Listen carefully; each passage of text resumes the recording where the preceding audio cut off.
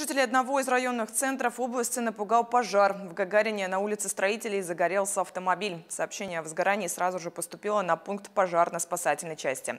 Усилиями пожарных огонь удалось ликвидировать и не дать ему распространиться. При пожаре, который случился около детской поликлиники, никто не пострадал.